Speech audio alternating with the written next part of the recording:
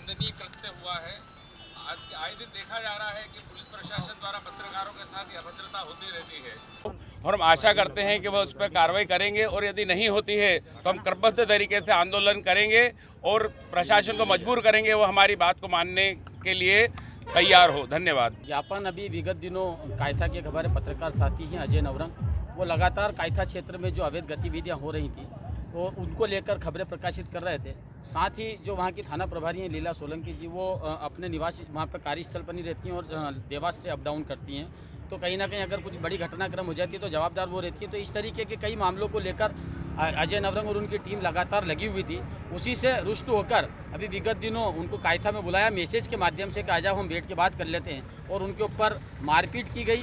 संतोष चोड़िया जो आरक्षक है वहाँ पर, उसके द्वारा और थाना प्रभारी द्वारा और जबरन उल्टा मारने के बाद में भी उनके ऊपर शासकीय कार्य में बाधा का और अन्य धाराओं में प्रकरण दर्ज कर लिया गया है।